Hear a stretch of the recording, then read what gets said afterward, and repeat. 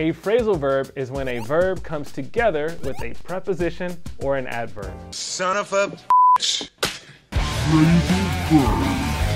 Transitive phrasal verbs have a direct object, while intransitive phrasal verbs do not have a direct object. Call off, for example, means to cancel an event.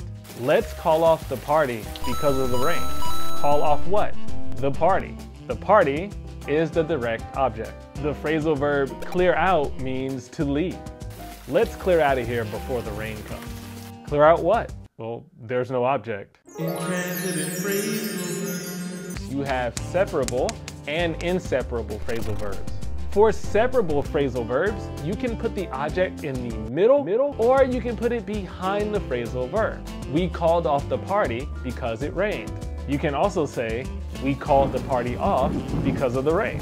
Never stop partying. If your object is a pronoun, it has to go in the middle of the phrasal verb. I didn't know that. For inseparable phrasal verbs, the object must go at the end because the phrasal verb is inseparable. You cannot break it up. She continued on without me. Some transitive verbs are inseparable. They went over the document to make sure everything was right.